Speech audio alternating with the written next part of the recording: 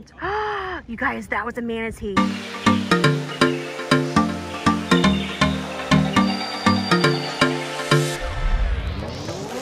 Hey guys, welcome back to Professional Weekenders YouTube channel. Today we are here in Marco Island and we've got a very special treat for you because we are going to explore the dome homes on our jet skis. So if you want to stick around, check it out, then come along. So let's go.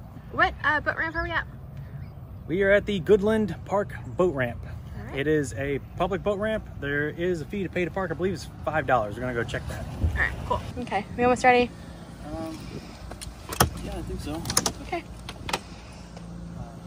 Should go probably pay to park first. well. I would just like the uh, record to reflect. I'm ready to go. Because typically he's waiting on me to get ready. So, okay. It's fine. Parking is $8. $8 for parking. That's all day? Yep. All right. Well, until they close at 8, I believe. Okay, till 8, it's 8 p.m. Okay. Uh, it is 10 to 11 right now. 5 to 11 right now. So yeah, let's get these guys in the water. All right, guys. So uh, yeah, like Lewis said, we are at Marco Island. Uh, we are going to head over to the dome houses and we will show you guys exactly what those look like. Um, it's actually pretty interesting and I'll have Lewis tell you the story about it because he knows more about it than I do. Uh, we were actually here, I think, uh, right around New Year's Eve um, in 19, in 2019 to 2020. Or no, sorry, 2020 to 2021. Uh, and it was super cool. Uh, there wasn't hardly anybody here and we found like this really cool like lagoon thing. Uh, so we're going to hopefully be able to find that island again. Fingers crossed, that little lagoon section. Um, it was really a cool place to kind of just sit and hang out for a few minutes and not have to be on the ski. Um, and then, uh, yeah, so we're super excited to be here, like I already said. Um, it does seem to be like a pretty high tide today, so Lewis hardly had to like get back the truck up at all. So um, we are almost ready. He just parked the truck. He'll jump on his ski and then we will get to going. So stick with us. Hopefully we'll see some dolphins. Um, maybe we'll see some other cool fish. So yeah, more to come. And there's Lewis's ski. He just parked. Um, he should be joining us momentarily. And you guys, that was a manatee. That was a manatee. Oh my gosh, I heard it breathe and then I saw it pop up. So hopefully, maybe we'll see some manatees. I hope I caught that. Oh my gosh, that was so cool.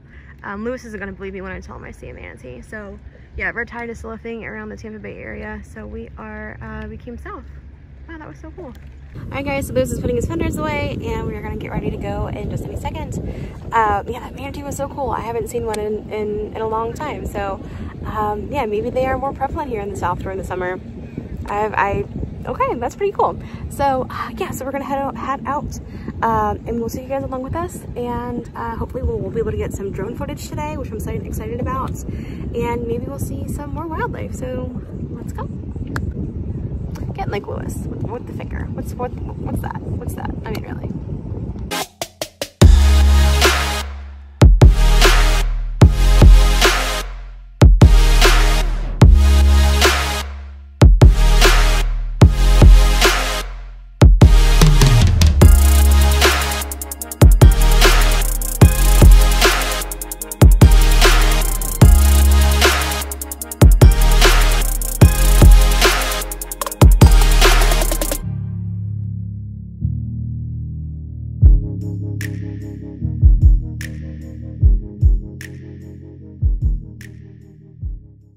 All right, guys, so these are the dome homes. It's really actually only one home. It was built by, uh, I think, a millionaire. Obviously, it's stupid expensive. Back in the 1970s or so, a while back. And the whole beach, this used to be on land, so the land is now way over there. The whole beach that this thing was sitting on has eroded, and now they are just out here in the water. And they're slowly falling apart. Um, I think there were six of these domes originally. Now you can see there's only four you know, I think there's talk about another one falling over here soon or or maybe one recently fell. I'm not entirely sure. But still pretty neat. Cool place to check out the jet skis. Instagram photos are bananas. The uh, birds really love it too. I remember last time we were here, we went on the other side of it and it smelled like the penguins at the zoo. So be aware of that. But we're gonna go over there and see if we can get a little bit closer look. Alright guys, so here we are. The dome houses. Um, it's pretty cool. There's a whole bunch of uh, pelicans around here and people do fish around here. So uh, yeah, um, it's a little high tide today whenever we're here so we're gonna head out. But um, super cool to see these, and I'm sure Lewis gave you guys all of the fun facts about the dome houses. So yeah, pretty cool to see. Definitely like coming out here on uh, the jet skis, seeing the pelicans, and seeing what kind of fish we can see. Um, we were thinking about snorkeling here, but because there's a couple of boats that are fishing, probably not the best idea. Plus, we do need to get, I think Lewis said, diving flags. So um, maybe next time. But yeah, we think it's pretty cool.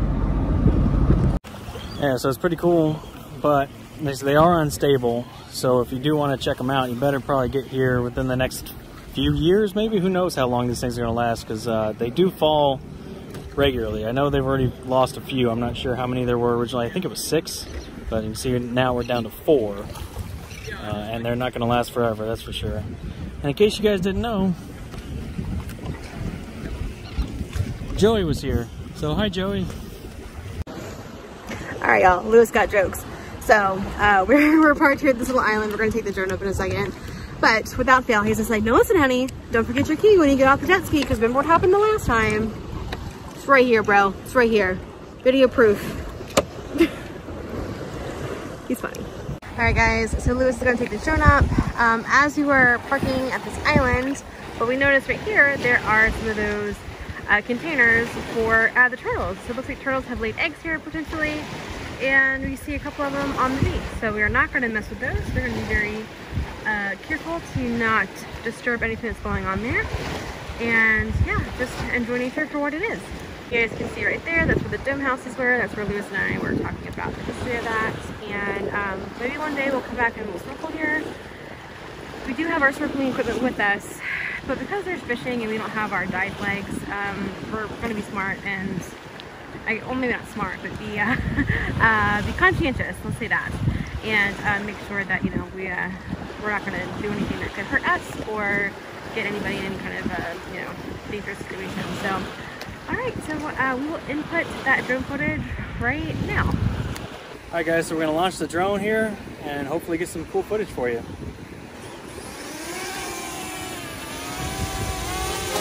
Bye, Sparky!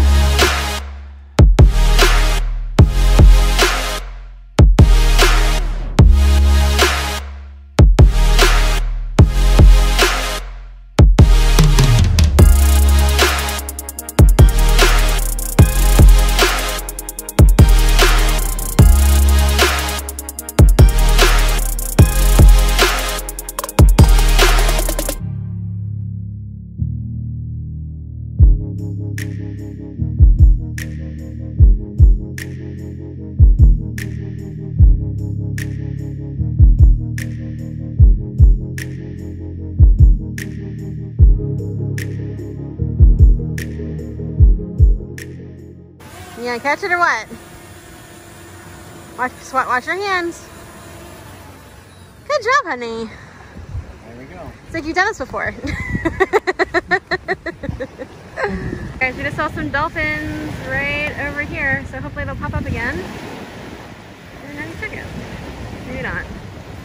Alright guys, that was the uh, lagoon island that I was telling y'all about earlier, but apparently during this time of the year, uh, it is a wildlife sanctuary, and I think that has to do because of turtle nesting season. So, so maybe when it's, you know, not, you know, uh, that time of the year for turtles to, uh, to hatch and lay their eggs, or lay their eggs and hatch, um, maybe we can uh, check it out again. So yeah, kind of a bummer for today, but hey, you know, gotta do what we can for the turtles. All right guys, so we are heading back, oh well I guess we're not heading back, we are heading towards uh, San, or to, take two. We're heading to Marco Island, uh, unfortunately we can't swim here, um, so we're going to head on over to maybe a new, a new beach and see uh, what we can find there. So, Speedy Boy is already gone, gotta catch up. Y'all, it's a very windy day. I uh, was facing the other direction about mm, four seconds ago. But here we are. We're in this little, um, I'm going to call it an inlet for lack of a different term because can get in from the uh, Gulf over there, but it's not very deep. I don't know if you can get a boat through here. And it is high tide right now, so uh, probably during low tide you could, probably couldn't do it. But it is so pretty back here. However, I'm pretty sure, honey, this is where like the uh, crocodiles live. So, yeah. Think so? I think so. I think this is like the farthest north the crocodiles are. All right, so what did we learn about the crocodiles? Well, the map says they could possibly be here. Could possibly or yes, definitely. I'm gonna say could possibly is the new yes, definitely. Yeah, yes, definitely. Because that means I'm right. I saw some dolphins. Trying to pick them up again. Alright guys, so Lewis just said he saw, uh, whoop, I sorry, took over. Uh, Lewis just said he saw uh, dolphins jump out of the water, so we're gonna be on the lookout. See if we can see anything else. I've never seen anything like that outside of SeaWorld. I mean, this thing must have been 8, 10 feet out of the Are air. you serious? Oh my Yeah, like gosh. its head, I mean, it, the whole body was out of the water a good three feet. I know I say this like every time we see dolphins, but it never gets any less cool seeing these guys in the wild. I mean, I, I, I'm at a level 10 every time I see them. Any kind of wildlife, like manatees, excited to see. Just anything in the wild is pretty cool. So we have stopped here on this really cute little sandbar thing. Um, I'm not gonna call it a sandbar, we're gonna call it a shell bar because those are all shells. Um, but in the background you can see Marco Island, and in the foreground you can see Lewis. Where did the fish go to get a drink? Where? To the sandbar. Oh my god. Why didn't I y'all my husband. So honey. Oh no. what just happened? My pineapple sprung a leak. We got a hole in it. After I blew it up, it was sinking, so only one pineapple today. Yeah. I got my pineapple, but I'll share, because I'm a nice wife. Yeah, we can switch. Switch. Yeah. Look out, 5 O's coming to get you. Hello, police. We are law-abiding citizens. Thank you much. Shit, I heard about this rebel before. She's going too fast. I get one warning. That's it. We're in the I'll- database. I know. Hey, but I will link the video down below when I got pulled over by the uh, the sheriff's department on my jet ski. That was that was interesting for sure. So, alright guys, so we're in the water. We're gonna hang out. Poor Lewis. I don't know what you're gonna do, but Well, you know, we can still swim around or lay on the beach. And yeah, circle. the main goal of this stop is to eat lunch. Oh, okay. So that's going to happen. Look at that little fish. I don't know if you guys can see them, but there's one, one right there.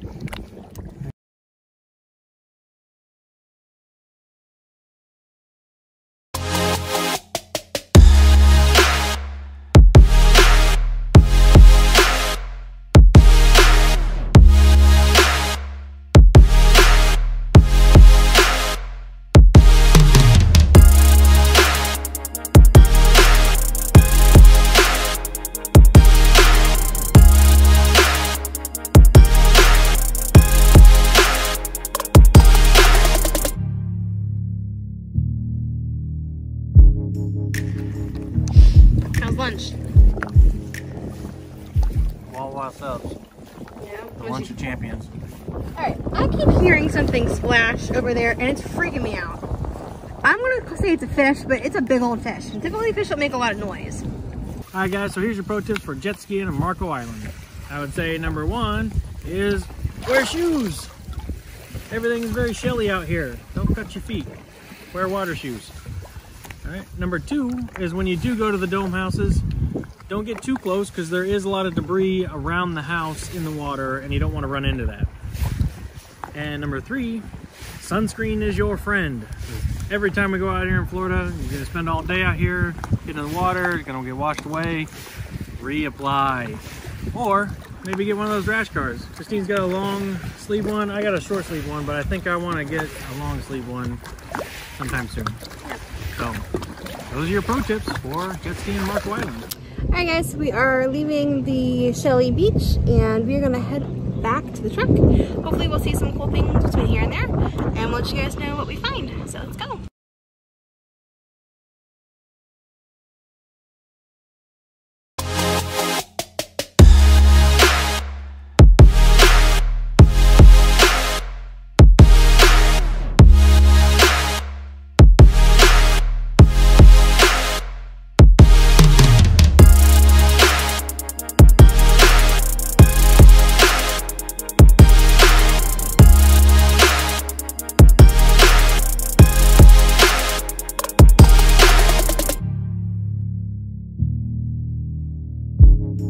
Alright guys, we are back at the boat dock. Lewis is going to go grab the truck and we're going to get these uh, skis back on the trailer.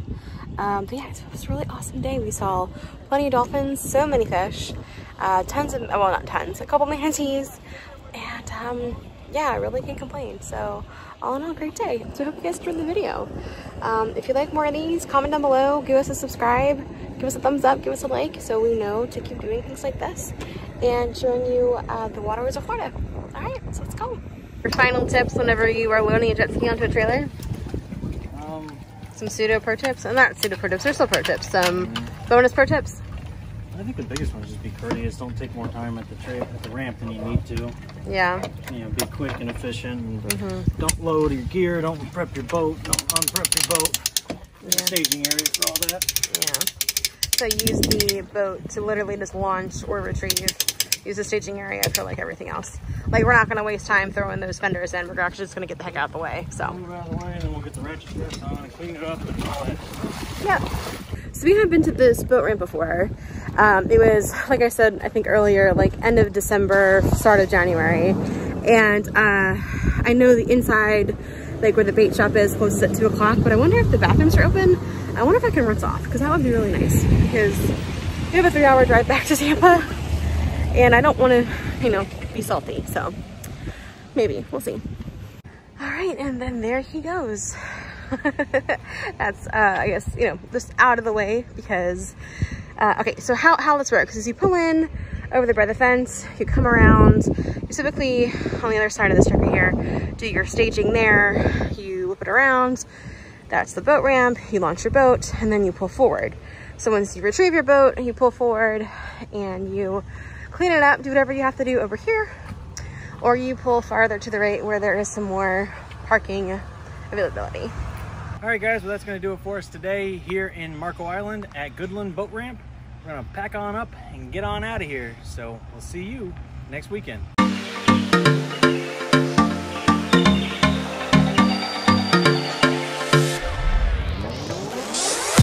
Who floats in a pineapple out in the sea? I do, it's. My pineapple. Commandeered it. No, okay.